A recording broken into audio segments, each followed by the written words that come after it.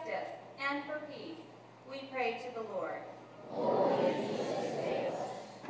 That persecuted Christians throughout the world, especially in the land made holy by the Savior's earthly life, may never feel themselves abandoned by God, but sustained by our steadfast prayer, moral support, and practical charity, we pray to the Lord.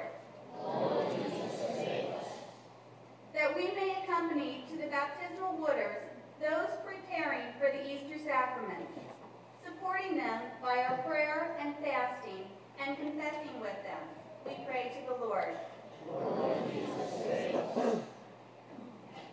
That as we celebrate Holy Week and the sacred Paschal Triduum, we may intimidate, we may imitate Christ Jesus by obediently accepting our own share in his cross and humbly serving others. We pray to the Lord. For the safety of our servicemen and women and for their families, we pray to the Lord. For those who have died believing in the resurrection, we pray to the Lord. For the prayers we hold in the silence of our hearts, we pray to the Lord. Your servant and son speaks the word that revives the weary and humbles himself to carry the cross that saves us.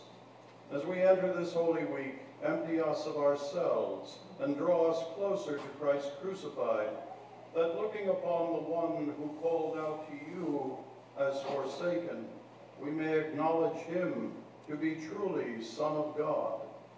May every tongue join in confessing that Jesus Christ is Lord, who lives and reigns forever and ever.